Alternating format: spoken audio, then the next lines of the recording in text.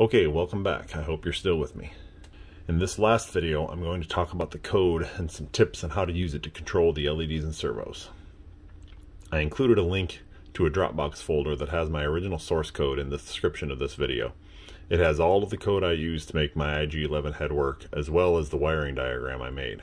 For controlling these servos, I was initially going to try to use just straight Arduino code, but I found it too clunky and I needed more control. So this is where it gets fun. I was introduced to this board called the Mini Maestro.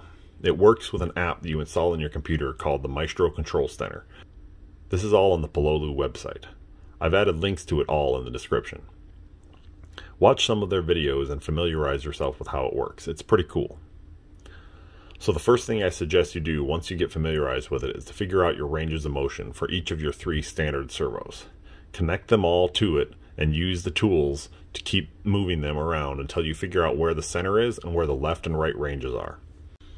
This is most important on the 9 gram I-tilt servo.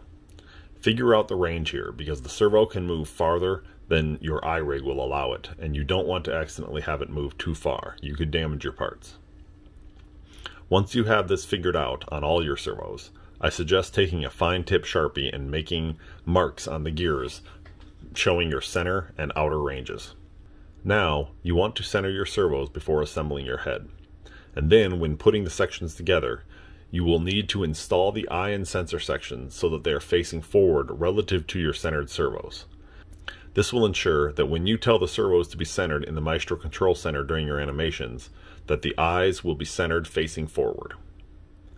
Keep in mind here that it's very likely that if you use my code exactly as it is that you will have alignment issues. So it's likely you will need to use my code, test it, make adjustments, and then update. Once you have finished making your script, there is one thing that I figured out that is pretty helpful. There are acceleration and speed settings in the control center, but those are not actually saved as keyframes when you are working on a sequence. But they are very helpful when making your animation.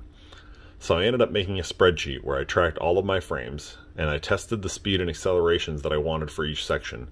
Then I wrote it down on my sheet, and after it is all done, you can actually directly modify the code and upload it and have it change during your animation. So the last thing to talk about here is the code. I'm not going to get too deep here because I could easily spend two hours discussing all the things I did here and no one wants to watch that. But I have included the INO file that I ended up using for my head. And I tried to add as many comments as possible in there as I was making it to make everything more clear what I was doing. A couple of things to note here. I spent many hours fighting with the IR sensors trying to get the, to return the proper hex values after it was all getting connected. I could not figure out why it wasn't working. Basically, no matter what I did, every button I pressed just returned a value of zero. Eventually, I discovered that I had installed version 2.8.1 of the IR Remotes library, which had just come out like a few days before I was started messing with it.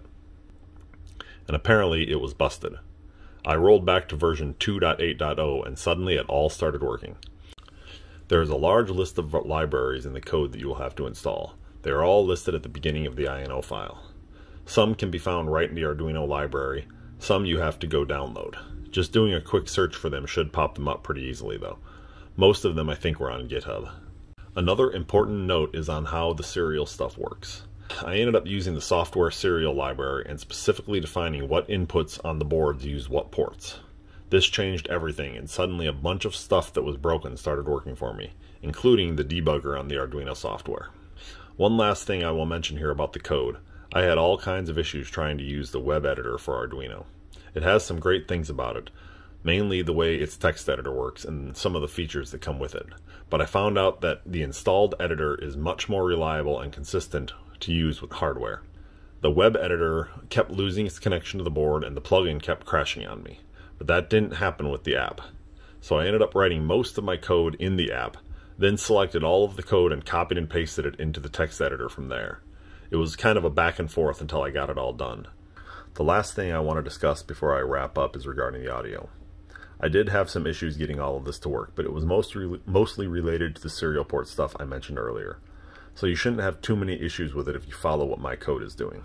Just make sure you upload the files to your SD card in the correct order one at a time so that the code knows which one to pick and when it's calling file 3 for example. Also, make sure you render them with plenty of volume. The servos can be quite loud when moving and you want them to be loud enough to overpower that. That's all I'm putting into this video. I hope this is helpful for everyone. I'm sure I missed a lot of important details and stuff I probably struggled with and overlooked here as I did all of this quite a while ago. So feel free to post questions and ask for help. You can also find me in the Droid Division group on Facebook where I will also post these videos.